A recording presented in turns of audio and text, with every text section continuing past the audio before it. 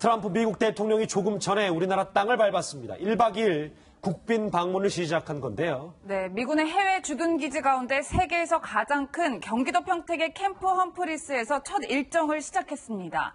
취재 기자 연결합니다. 이동은 기자. 네, 청와대입니다. 트럼프 대통령의 평택 기지 방문에 문재인 대통령도 동행했다고요.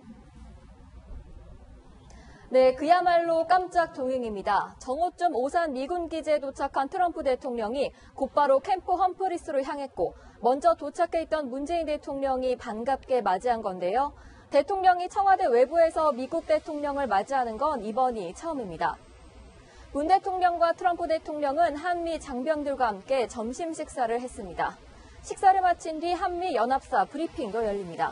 트럼프 대통령은 이 자리에서 강력한 대북 압박 메시지를 낼 것으로 보이는데요. 정확한 내용은 잠시 뒤 전해드리겠습니다.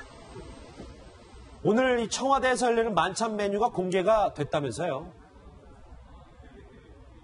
네, 그렇습니다. 만찬은 네 가지 코스로 구성됐습니다. 먼저 옥수수죽을 올린 구황작물 소반이 나옵니다. 가장 눈에 띄는 건 거제도 가자미구인데요. 가자미를 좋아하는 트럼프 대통령을 위해 문 대통령의 고향인 거제도산 가자미를 사용했습니다. 이어서 한우 갈비구이와 초콜릿 케이크 디저트가 나옵니다. 김정숙 여사가 멜라니아 여사와의 첫 안매를 위해 준비한 곶감 다과도 눈길을 끄는데요. 김 여사가 직접 말린 감으로 만들었고 호두와 초콜릿을 더했습니다. 지금까지 청와대에서 전해드렸습니다.